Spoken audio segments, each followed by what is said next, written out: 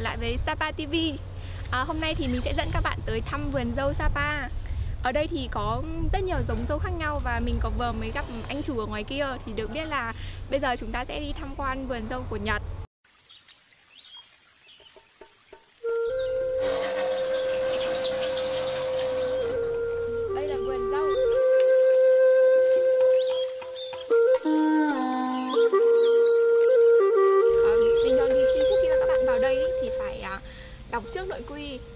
Các bạn vào đây thì sẽ không phải thu phí nhưng mà nếu bạn hái dâu mang ra thì à, phí của vườn dâu Nhật này sẽ là 300 nghìn bởi vì nó khá là to. Còn ở vườn dưới là dâu trắng, dâu Mỹ và dâu Hàn thì sẽ nhỏ hơn một xíu khoảng à, 200k trên một cân. Các bạn có thể tham quan ở đây ờ, khi nào ra cũng được. Nói chung là không bắt buộc thời gian nên là các bạn có thể check in này hay là hái dâu này rất là thoải mái. Đây các bạn có thể đi tham quan cả vườn dâu như này mời các bạn đi cùng mình nha.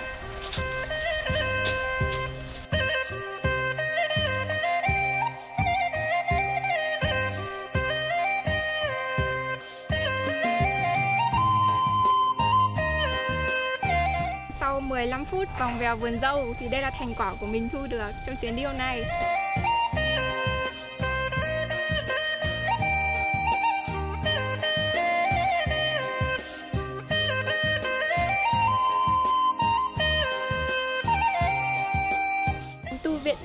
Tả Phi này thì được xây dựng từ thời Pháp năm 1942 và nơi đây đầu tiên thì gồm có 12 tu sĩ sống.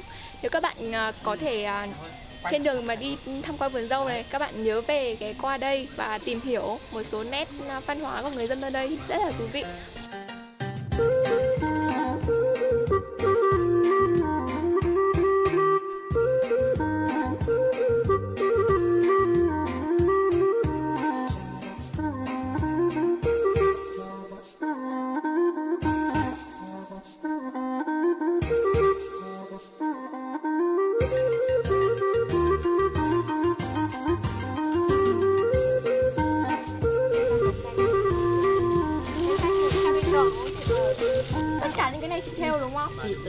Cá túy là thêu vàng tô tằm này.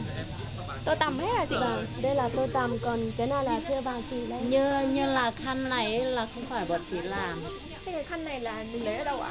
ờ, người ta mang xuống Tràm Vâng. Cô lúc nãy trên đường đến đây ấy, khi qua bản ấy thì em thấy rất nhiều cây tràm ấy vâng. trồng ở bên đường. Đây là người Mông làm ấy. Ôi khăn này rất là mịn luôn nhá. Nét các có bạn rất mà là nhiều màu Đây có là có loại màu xanh là cũng rất là đẹp rất là nhiều màu cho các bạn chọn. đỏ Ôi mùa đông mấy cái này chắc ấm lắm đấy. Để dùng hai mặt này. Như các bạn thấy này các sản phẩm ở đây thì đều được thêu bằng tay hết. Và ở đây thì có những cái à, bản ấy mọi người sẽ thêu tay hoàn toàn truyền thống hết. Mọi người có thể đến đây lựa chọn các sản phẩm làm từ tay của các bà con luôn. Từ đó thì sẽ ủng hộ cái việc là à, làng nghề truyền thống ở đây tiếp tục phát triển. Mong là khi mà các bạn ghé qua đây thì nhớ là đừng bỏ qua những cái sản phẩm rất là thú vị như thế này nhá. Chắc chắn là sẽ là một món quà ý nghĩa khi mang về Hà Nội đấy.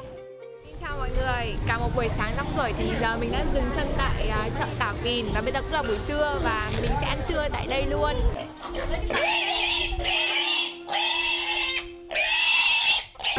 À thấy là chú lợn cắp nách và mọi người hay còn gọi là lợn tên lửa.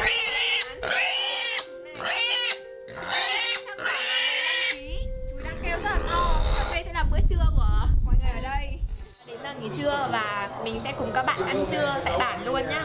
Đây là toàn các món lợn ở bản thôi lợn à, hấp này đây là lợn quay đây là lợn xào xả ớt thì phải. Đây là rau rau ở đây luôn nha. Rồi đói lắm rồi. Bây giờ chúng ta bắt đầu ăn nữa nhá. Chúc các bạn ăn miệng Hello, nếu các bạn đã đến à, Sapa và muốn biết Sapa đẹp, à, huyền bí như thế nào thì nhớ là phải ghé qua hang động Tả vìn ở đây nhé. Um, Tả vìn thì um, hang động này cách Ủy ban nhân dân xã khoảng 1 km. Các bạn sẽ đi về hướng Bắc và thấy sẽ thấy cái hang động như thế này. Cái hang này thì nghe mọi người dân địa phương ở đây nói là sẽ cao khoảng à, 5 m và rộng 3 m. À, mời các bạn cùng đi khám phá cùng mình nhé.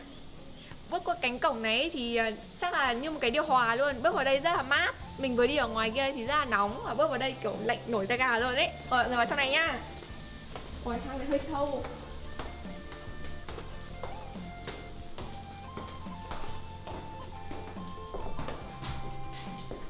Ờ, mới vào đây chắc là- À, ờ, theo mình được biết thì ờ, khi mà vào đây này thì mọi người sẽ đi tham quan bằng điện hoặc bằng đèn.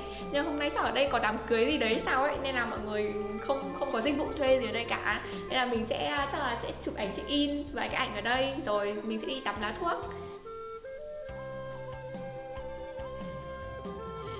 Qua một ờ, số con đường nhỏ thì bây giờ mình đang đứng trước ờ, cổng của hợp tác xã thuốc tắm ở của người giao ở trên này. Và giờ mình sẽ dẫn các bạn đi vào xem các bồn tắm ở đây như thế nào nhé.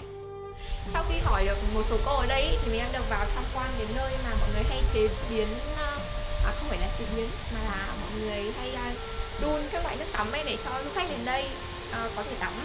Đây mình thấy thì có rất nhiều loại thảo dược khác nhau này có loại thì phải khô phơi khô rồi này có loại thì phải để tái tái này. Cái đấy thì đều là những cái bài thuốc rất là quý của người giao ấy. Sau khi ở bên kia là được lấy về này phơi khô này hoặc là để tái này sẽ được cho vào cắt nhỏ ở đây này. Cắt nhỏ trước khi mà cho lên nồi nấu trên kia. Đây, đây là cái dụng cụ cắt của người dao mỗi lần cắt thì chắc là cắt rất nhiều. Thôi đã mất công thâm nhập vào đây ý, thì mình chỉ luôn nữa các bạn. Ở trên này đây là chỗ người ta nấu này. Nấu xong rồi lọc hết cái cái thuốc ở bên trên ấy thì nó sẽ còn cái nước. Như ở đang sôi thế này này các bạn xem này.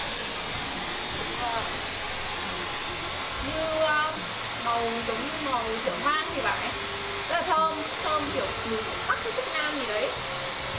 À, sau khi nước ở trên kia mà được nấu chín ý, thì mọi người sẽ để xào cái vòi như này này. Đây cái vòi xả này.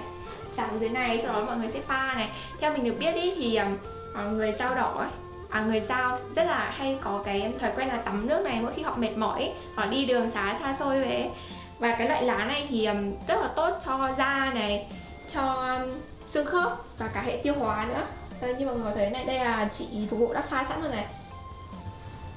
Cái bồn này nghe mọi người nói là làm từ làm từ gỗ pơ mu thì phải một cái cây pơ mu rất lớn mình vừa thấy con kia nếu mà ai chưa biết về cây pơ mu thì có thể tìm hiểu thêm nhé gỗ rất là chắc luôn mọi người tắm ở đây này, có thể xem phong cảnh ở bên ngoài luôn, có cửa kính. Đó, mọi người có thể ngắm ở bên dưới này, xa xa là núi này, kiểu nên thơ trữ tình ấy.